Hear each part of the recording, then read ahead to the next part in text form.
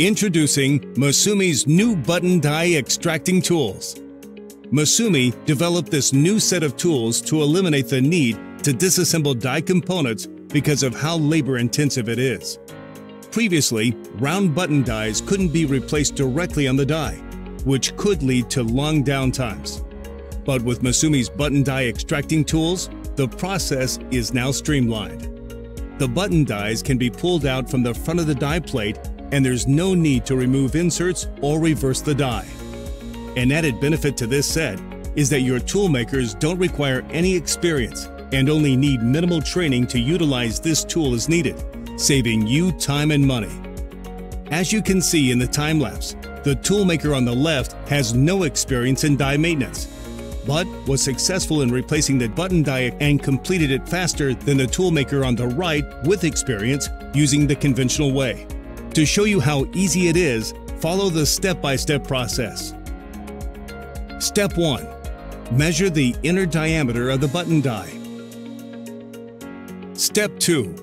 Choose the puller which applies to the inner diameter size. In this example, we will use the puller range of 8.0 to 8.9 millimeters. Pullers may be damaged if they are used outside of applicable dimensions.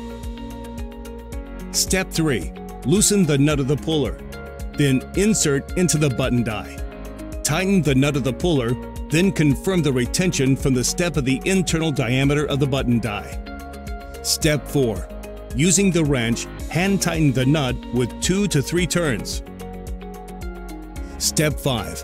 Attach the joint nut to the puller. Thread the joint nut until it's flush with the button die surface. Step 6. Attach the extractor to the hammer. Slide the hammer a few times to make sure the puller is attached properly. Step 7. Continue to slide the hammer until the button die is extracted. Step 8. And now you can remove the button die from the puller. The button die extraction is now complete. Streamline your process today with MISUMI's new button die extracting tools. Visit misumi.info forward slash button die.